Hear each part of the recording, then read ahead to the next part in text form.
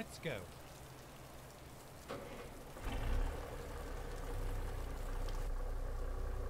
Good morning.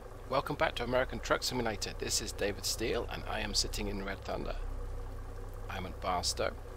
I've Only got 150 miles to go today. This is part of a much longer trip, but I decided I wasn't going to share all of this with you because uh, a lot of it is I'm experimenting with a new engine and transmission mod. Let's just do a quick check of Red Thunder. Yep, she's warming up. I suppose I should turn the wipers on. So what are we doing today? Well, we are carrying 46,000 pounds of milk. That is a reasonably heavy load, but we're doing something else with this too. Let's turn on the lights, put ourselves in gear, check that everything is good. Not a particularly nice looking mo motel this, but I needed to sleep and uh, there we go.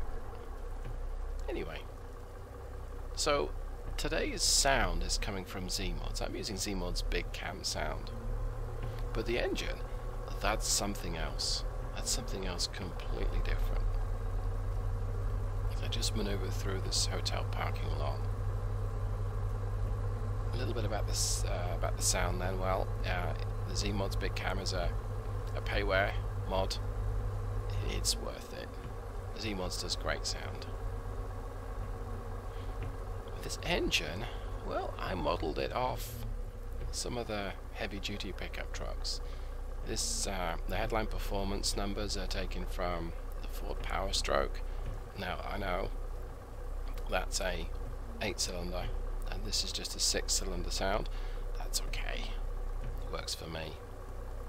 But we have 925 foot-pounds of torque. Okay, I'm going to clear that. Where I'm going and 400 horsepower. But its power delivery is that little bit different to... I'm not going to hit this curb. Oh, I think I am. Yeah, let me, uh, let me back up here if it lets me, which I think it will.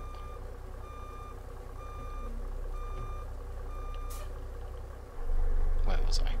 Yeah, so we have 400 horsepower here but only 925 foot-pounds of torque. Now that's not too dissimilar from some of the older school engines. But its power delivery is that little different. Peak torque is around about the 1500 RPM. I think it's 1500 to 1700 I've set it at. Again, not too dissimilar to some of the older style engines. And full power is available pretty high up in the rev range. It may even be 3000 RPM. For a transmission, I thought this Volvo was turning right, but never mind. For transmission, I'm using uh, my own custom automatic. It's a 7-speed. I should tell people where I'm going. Engine's almost up to temperature. With a, a 4.29 final drive, so it's it's kind of short geared. And uh, I'm still prototyping the, the engine speeds to get them matched to the transmission. The idea here is that uh, transmission and the engine are, are a package. Uh-huh. To get the chance to go anytime soon? So in that respect, not too dissimilar to some of the 2020, give or take, um, era pickup trucks for the North American market. Though obviously this is a much bigger pickup truck. And I'm in everyone's way. Maybe I'll just let the truck creep forward a little bit. That might encourage someone to let me out. Not yet. Is that a gap appearing? Nope. I forget the name of the traffic mod that I'm using, but uh, it tunes the traffic. Hey, here's a gap. Tunes the traffic so that it's it's busier when you would expect and quieter when when you would expect, and that that does make a difference. It makes it quite immersive. Probably should have given it some right lock sooner.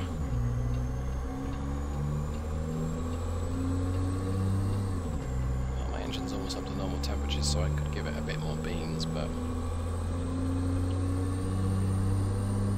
Alright, we're on the way. So by setting up the engine and looking at the shift points in the transmission, the idea here is that I can get the most from the engine and transmission without it being too compromised. Sometimes the, the mods I try on Steam Workshop, it's not been raining, the, the shift points are just not working. I'm not saying I will put this on the Steam Workshop, but I want it to be functional.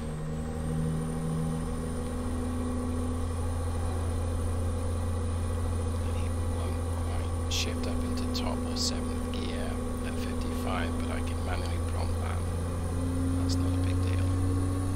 Will it? No. Let's position it to go into top. There we go.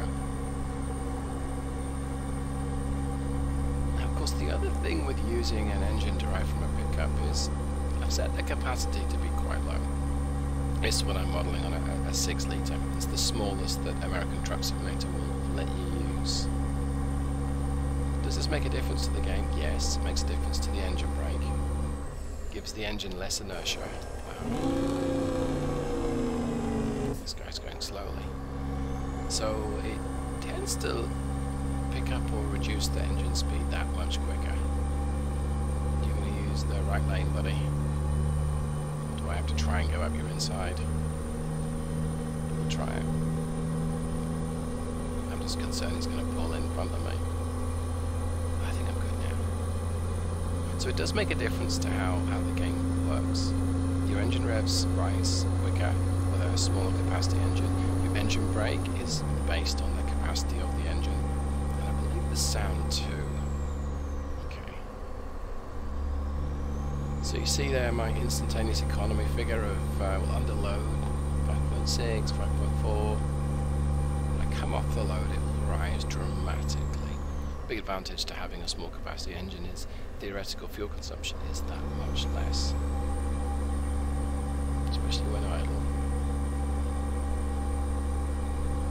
I'm pleased to say that other factors are at play. So the amount of uh, power or torque engine's producing is, is the biggest factor. So a problem you may have with a, a, a low power power plant like this, spend a lot of time with the engine under load, which means a lot of fuel burn. So far, 400 horses has been a reasonable compromise.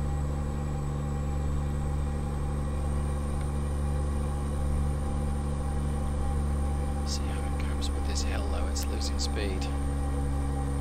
Now I've set it to not change down until it's about 1100 RPM, maybe 1000 RPM.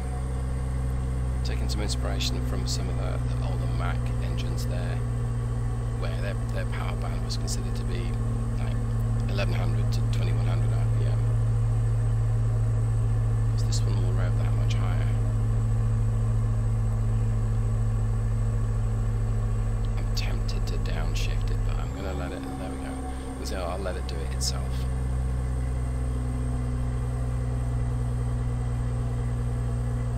I'm using a torque converter score of 1.5, which I'm not entirely sure how effective that is, and what that actually does. I've tried changing the numbers there, I've gone from 1.5 to 5.0. Does it make a difference? Well, it may do when you're driving bobtail, but how often are you going to drive bobtail? Shift it up to 7th.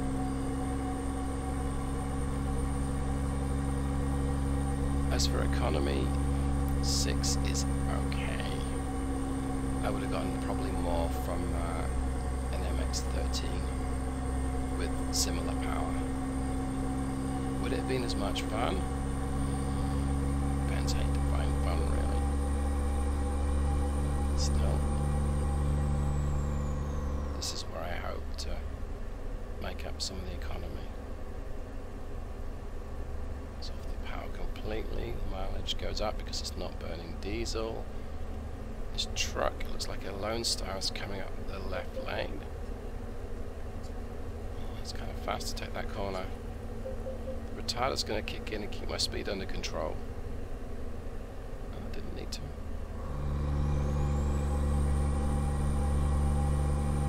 Okay, So far, so good.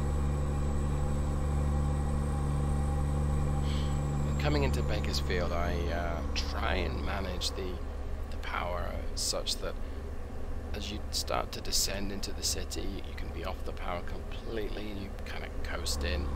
So you've got a bit of fuel, but also makes it easier because that line on the outskirts of Baker, Bakersfield and the east side always seems to be red for me. This guy is uh, not hanging around.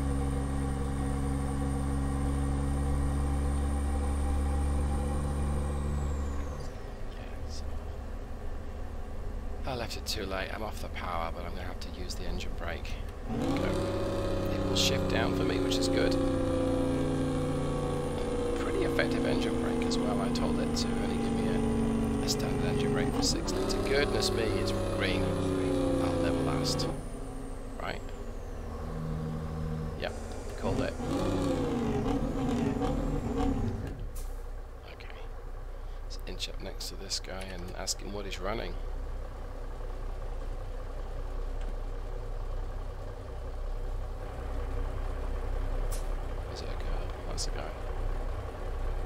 Morning, Gav.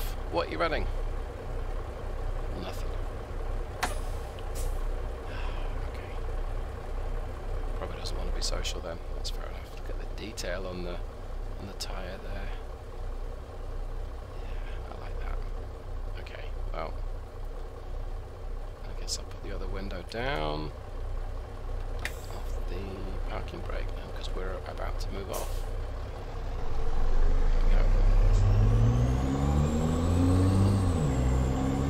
That's to 2000, that's good. Pretty quick shifting up. I'm not going to try and uh, race off the lights here. He's in a hurry, he's got way more power than me.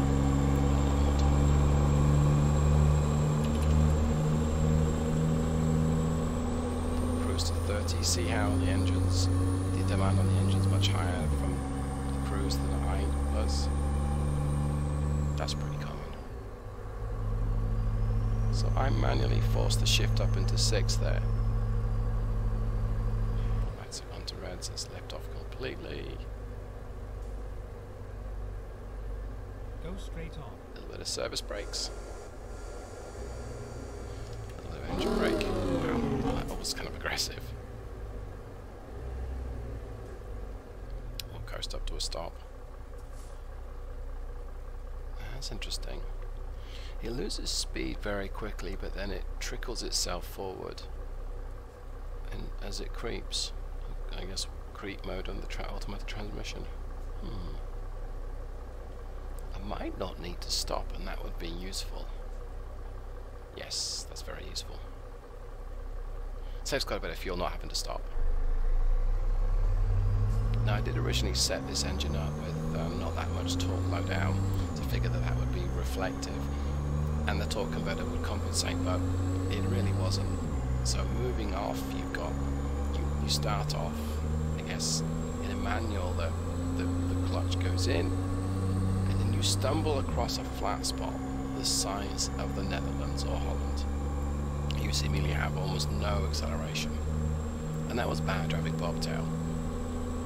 With 46,000 pounds behind me, I would not have been able to get going it's come to a slight gradient up the hill, that'd be it. You, you just not move. So I polish the, the low down torque quite a bit so that it produces a measurable amount of torque at 600 revs. Stay where you are, police car.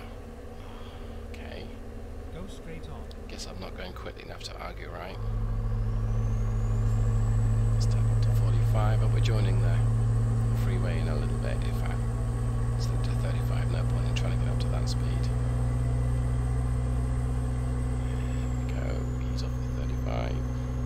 There's no one desperate to get around me behind, that's good. Cancel cruise, let the thing coast. Mirror signal, engine brake. Thing about engine brake is when it downshifts, can put me in the right gear for the hazard. Service brake, give some lock, bit more brake, full lock, back on the power. I'll back off the power because we're stationary at the bottom of this on-ramp. Do I use the shoulder. Oh, I'm in everyone's way here. Hang on. There we go. Quick external view. Yeah, sorry everyone. Oh, I didn't disrupt too many people. So I can turn the lights off now. Yeah, I know why the AI does this, but it's um, it's a little frustrating.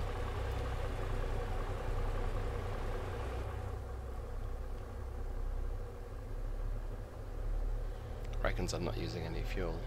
I don't think that's entirely the case, but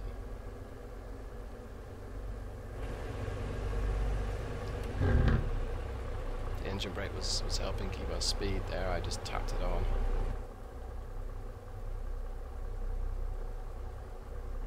So the slowest it will go is 2 miles an hour, and that's, um, so that's 750 RPM.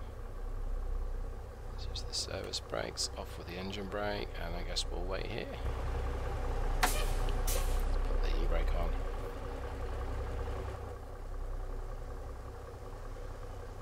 So stationary, it's using 0.4 gallons per hour in gear. Put that to neutral, it shouldn't change. No, it won't.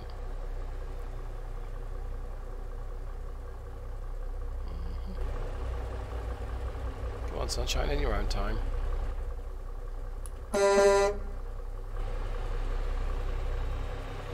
be a huge hold up behind us now.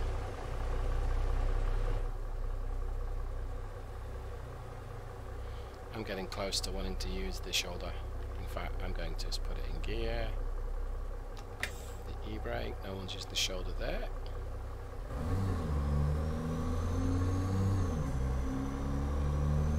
Okay, use my left indicator. If I can, I'll always use a down slope on the on-ramp to help build up speed. Yeah, I'm going to pull in front of this white car.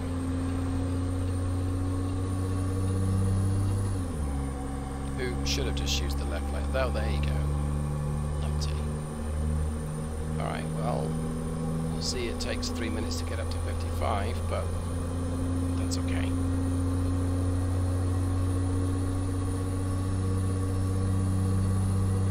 Wow. Just really stretching itself through the interim gears.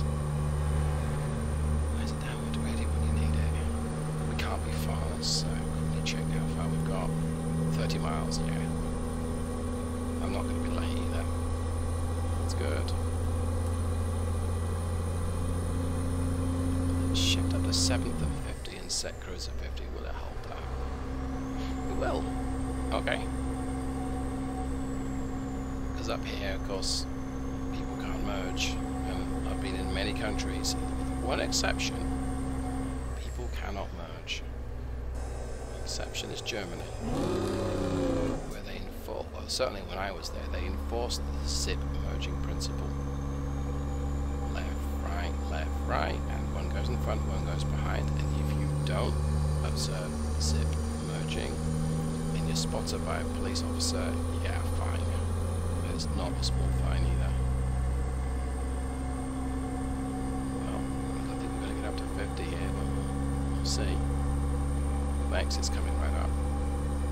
Keep right, and then exit right. No. Disable cruise. There we go.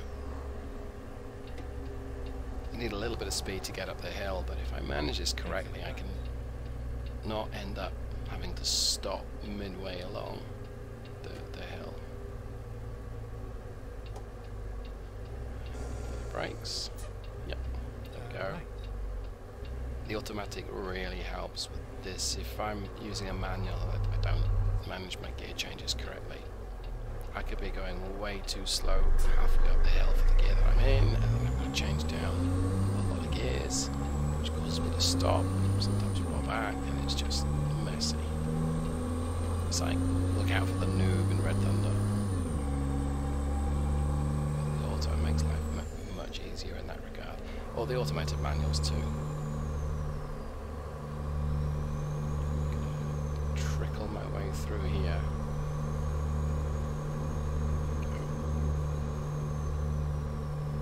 I recognise where we're going. I won't be getting up to 55, but I might be getting up to 35 down this hill if I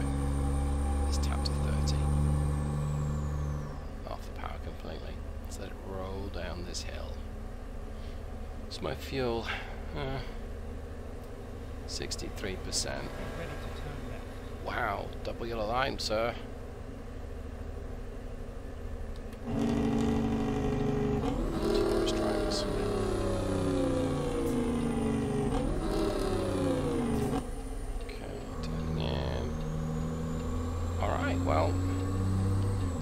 interesting experience to, to drive with this engine transmission combination. I'm not going to say it's my favourite, but I wanted to just see if it could do it. Like to get some real information on torque converters to see what this really should be.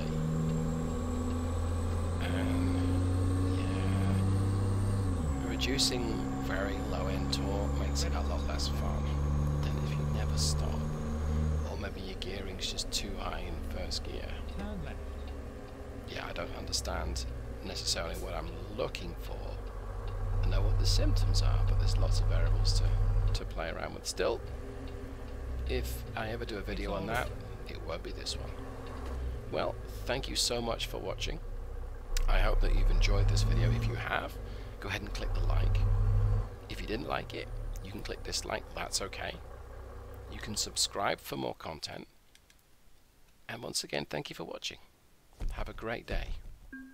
Goodbye.